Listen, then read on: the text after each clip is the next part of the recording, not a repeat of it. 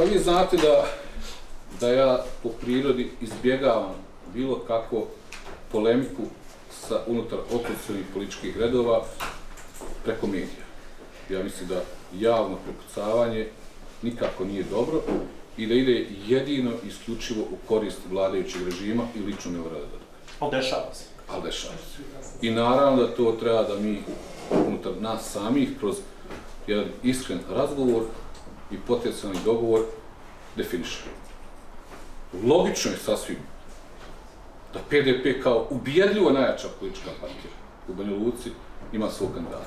Kao što je logično da aktuelni gradonačelnik Stani Vuković ide na provjeru kod građana 6. oktobra sljedeće godine. To je sasvim logično. To su neki, neki, neki, neki, neki principi koji su toliko logični da ih ne treba mnogo puta ponavljati i da građani ocijene, procijene i kažu svoj stav da li je isporučeno sve ono što je obećano i što je urađeno u Banja Luci, a puno se radi, o tim stvarima se mnogo i priča.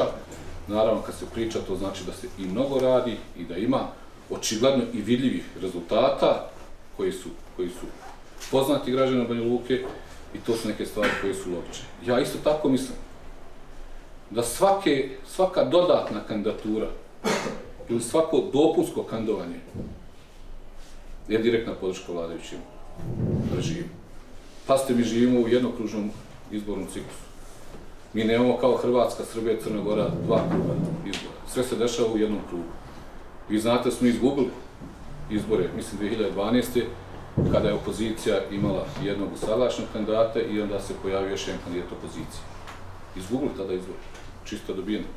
I ja mislim da generalno ne želim uopšte da se oko ovih stvari prepucavam, ne želim da stvara neke dodatnu, dodatnu nervozu, e, izbjegavam tu neku vrstu e, kvalifikacija, ali evo govorim neke činjenice koje su nesporne. Logično je da PDP ima svog kandidata, najjači smo bili u Banju Luci, logično je da, da, da je aktivni gradonačelnik ide na provjeru, da li sve što je isporučio, što je rekao, a što je uradio, dovoljno da građani biraju njega, a isto tako ja mislim svako dodatno kandovanje čini sretnim samo vladajući režim.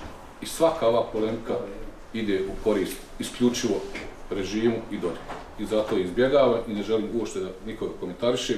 Ja mislim da treba biti dovoljno zelosti, udrosti, dovoljno razumijevanja među nama samima da o tome razgovaramo direktno.